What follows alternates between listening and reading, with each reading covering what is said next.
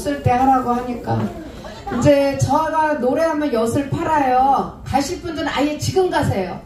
노래 듣지 말고 가세요. 쎄 빠지게 노래면 다 가버려 엿 팔라 그러면. 자, 엿 팔아 주실 건 팔아 주실 분만 다 앉아 계세요. 아셨죠? 차렷 경례. 연 먹으세요. 엿, 엿 하나 드실래요? 지금